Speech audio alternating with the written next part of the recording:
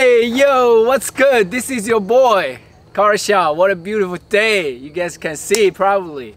Yeah, I'm actually on my way to climbing the mountain. Uh, yeah, I just want to stop here real quick to talk about some of the motivational stuff. You know what I'm saying? I'm a motivational speaker. I practice everywhere, anytime. So yeah, I just want to come, uh, you know, to this place just with my family because I want to really uh, talk about the work ethic. You got to work hard. you have to work really, really hard. Uh, and then when you like just reward yourself with a little vacation with your family, you know, that feeling is, is so awesome. Like you will just enjoy it so much better. And yeah, um, you would like really think all this hard work really just is worth and um, yeah, you just expect the next vacation with your family and yeah, you just want to work harder. That's how I feel.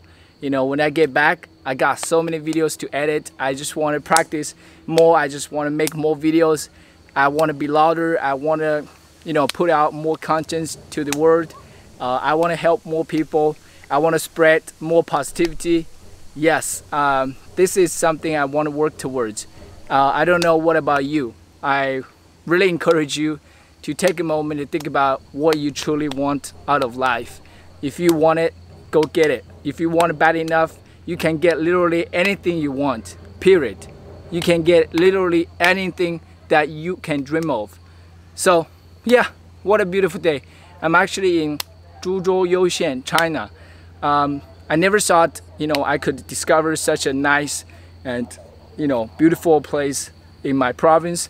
Um, this is not what I expected, but definitely I got so much just, you know, surprised and I love it so far. Uh, it's a little bit hot, but the weather is kind of cool with the wind, so I love it. It's about 10 a.m. and yeah, you can see my family is already over there, so I'm gonna catch up with them. All right, thank you for watching this. You got this.